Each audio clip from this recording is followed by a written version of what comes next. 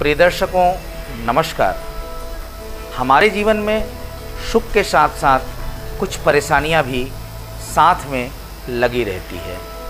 उनमें से कुछ परेशानियों का कारण हम स्वयं होते हैं तो कुछ भाग्य जनित होता है और इन परेशानियों का दोष हम देते हैं अपने प्रारब्ध को। तो आने वाले दिन आपके प्रारब्ध को बदलने का एक ऐसा मुहूर्त प्रदान कर रहे हैं जिसका आपको हमेशा से इंतज़ार रहता है। जी हाँ हम बात कर रहे हैं इस परम पवित्र श्रावण मास में आने वाले नाग पंचमी की, जिस दिन की गई नागों की पूजा, जन्म कुंडली के दो विशेष ग्रहों, राहु और केतु को शांत करते हैं। नाग पंचमी के दिन नाग पूजन करने से काल सर्पदोष से मुक्ति मिलती है। साथ ही साथ अन्य ग्रहों के भी सहयोग प्राप्त होते हैं। नाग पंचमी का त्यौहार श्रावण मास के शुक्ल पक्ष की पंचमी को मनाया जाता है। हिंदू धर्म में नागों की पूजा के साथ साथ इस पावन पर्व में विशेष पूजाएँ भी की जाती है। भगवान शिव के आभूषण नाग देवता की पूजा की जाती है, साथ ही भगवान शिव की भी पूजा की जाती है क्योंकि भगवान शिव के गले में नागदेव विराजते हैं। धर्मशास्त्र के अनुसार नाग देवता पंचमी तिथि के स्वामी हैं। नाग पंचमी पर नागों का पूजन करने से आध्यात्मिक शक्ति अपार धन और मनवांछित फलों की प्राप्ति होती है। इस बार नागपंचमी का यह त्यौहार 2 अगस्त को है। बात करते हैं नागपंचमी के पूजन के मुहूर्त की। 2 अगस्त सन 2022 को पंचमी तिथि का प्रारंभ सुबह पाँच बजकर चौदह मिनट से हो रहा है। ध्यान देंगे, पाँच बजकर सुबह, पाँच बजकर चौदह मिनट पर, जो कि अगले दिन तीन अगस्त 2022 की सुबह पाँच बजकर बयालीस मिनट तक होगा।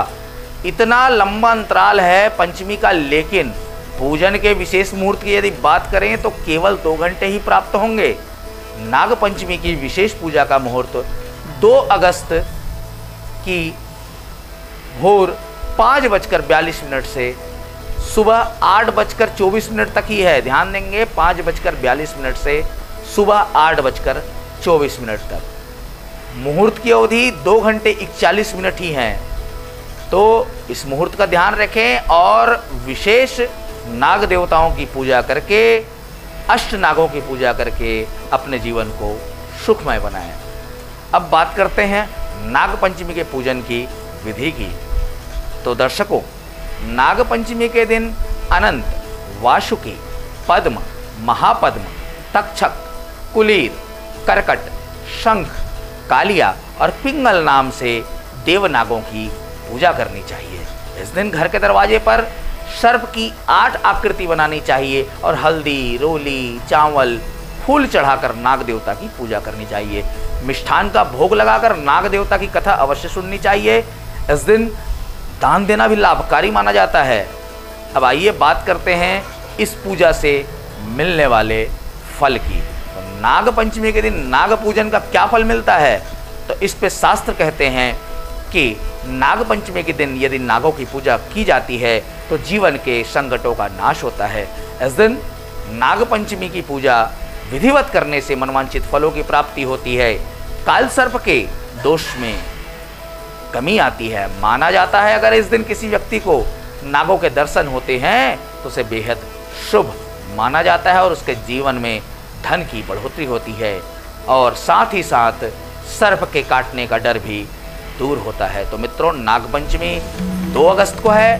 प्रातः तड़के ही चार बजकर बयालीस मिनट सूर्योदय के आसपास ही इसका परम पावन मुहूर्त है।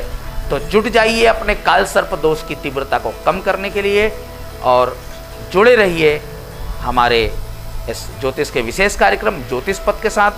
तब तक के लिए मुझे दीजिए इजाज़त। नमस्कार।